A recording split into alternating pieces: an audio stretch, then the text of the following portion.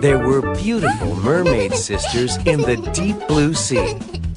Among them, the youngest had the most beautiful voice and loved to sing with her undersea friends. Do you know what it's like out there? Out in the water?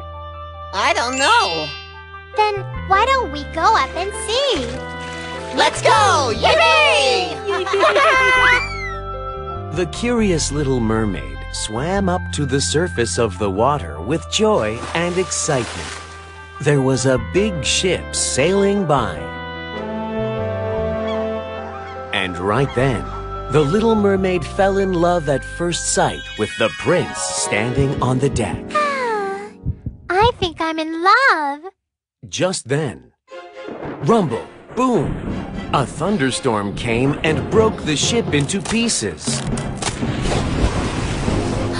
Oh no, I must save him. The little mermaid saved the prince and swam to the shore with him. As she heard someone coming, she hid behind a rock. Oh my! Are you okay? The prince thought the princess was the one who saved his life. The little mermaid went to the sea witch for help because she was so heartbroken. Please make me human. Please.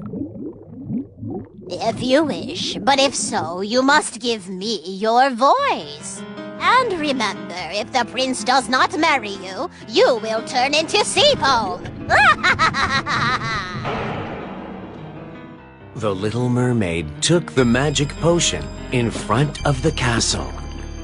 She fainted right away. and when she woke up, there was her prince. What's your name? Where are you from? The little mermaid and the prince were always together, even though she couldn't speak a word. One day, the prince invited the princess to his castle. Meet the person who saved my life in the storm.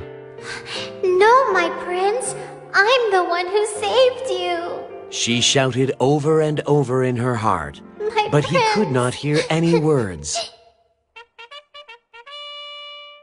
On the wedding day of the prince and the princess, the little mermaid could do nothing but shed tears. Her sisters came and said, Stab the prince with this knife, and you will become a mermaid again. That night, the little mermaid went into the prince's room with the knife. The prince and princess were asleep. No, I can't. She stared at his face for a while, but then came out quietly. Goodbye, my prince. The little mermaid threw herself into the cold water. She turned into sea foam and became a fairy of air.